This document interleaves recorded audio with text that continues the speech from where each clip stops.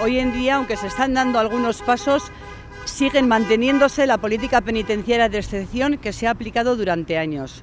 Por ello, el día 7 de abril, Día Mundial de la Salud, la red Sare Ritarra quiere tener presentes a las personas presas con enfermedades graves. Aunque últimamente se han dado pasos importantes con personas presas que padecen enfermedades graves, seguimos siendo testigos de las graves consecuencias que conlleva esta política, ya que sigue aumentando el número de presas y presos vascos que han muerto en la cárcel. Hace unas semanas vimos claramente que estas personas, en lugar de ser liberadas para poder curarse, son puestas en libertad cuando la situación es irreversible y están a las puertas de la muerte. Actualmente hay 17 personas presas con enfermedades graves. Sare tiene claro que mientras no desaparezca la política de excepción, seguiremos sufriendo estas terribles consecuencias.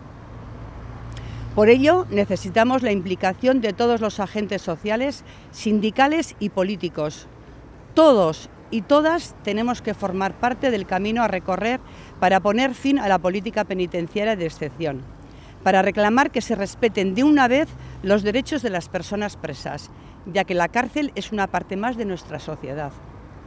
Porque entre todas y todos conseguiremos, caminando hacia la convivencia y hacia la paz, que se respeten los derechos básicos de las presas y de los presos vascos y que se ponga fin al sufrimiento que padecen las personas presas con enfermedades graves. Por dignidad, por humanidad y por justicia, Libertad para los presos, presas gravemente enfermos y enfermas. Los queremos vivos y en casa.